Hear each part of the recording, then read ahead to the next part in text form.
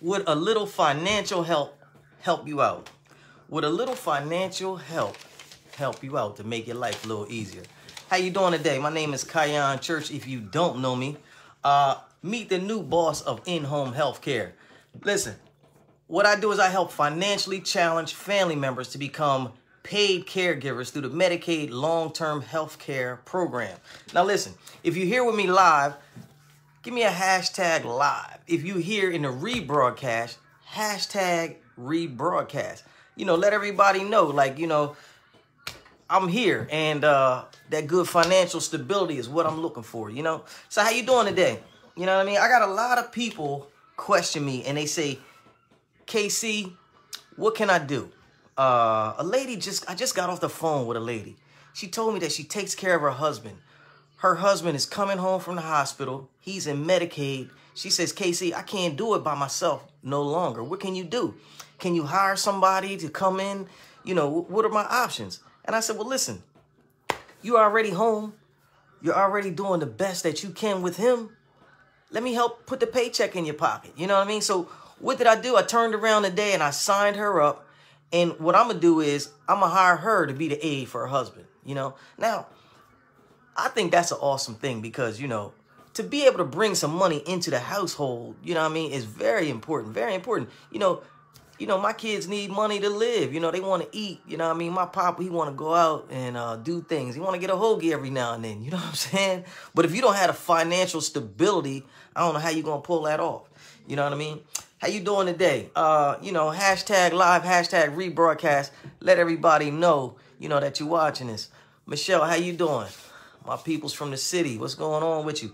Listen, being a caregiver is like the most important role ever. See, a lot of people forgot how important the caregiver is, you know? See, a lot of people every day they get up and they go out and they go to work and they handle their own business. You know what I mean? Which is awesome. That's great because that's what you're supposed to do in life. But people forget that it's actually other people that can't get around as well, that can't move as well, that can't, you know, get up and do what they need to do. They need a little help.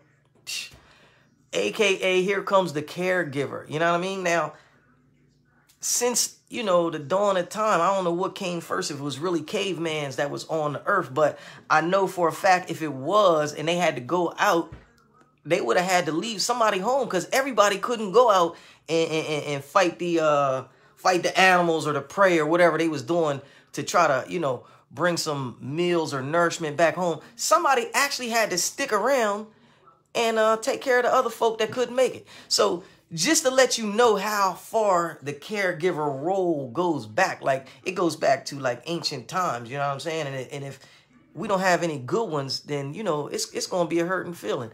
I'm good just dropping in to get some info. Well, that's great. That's great because you definitely in the right place. You know what I mean? I help challenge financial, I help financially challenge family members to become paid caregivers through the Medicaid long-term health care program. So if you know somebody or if you're in a program yourself and you could benefit from an aid, listen, I can send somebody to your house or I can turn your cousin or your brother or your sister or your loved one into the caregiver and they can take care of you. You know what I mean? Now, uh, me, I like to keep the money in my pocket. You know what I'm saying? Because if I'm the caregiver and I'm already here doing the job, I probably don't need anybody else to come in. I just need to uh, stimulate my income. You know what I mean? Stimulate my economy. You know? So if I can't get the check, then that'll be that'll that'll put me in a whole different perspective. You know what I mean? And that's the general thinking, you know, because like my mom said, Christmas comes the same time every year. And if you ain't prepared, I don't know what Christmas at your house gonna look like. You know what I mean? So be prepared, do what you gotta do. Let's put the paycheck into your pocket. You're doing a great job. You're taking care of your peoples. You're doing a great job. Let's connect your pocket with the paycheck now. You know what I mean? All right, so if you got any questions, if you need me, you know, let me know.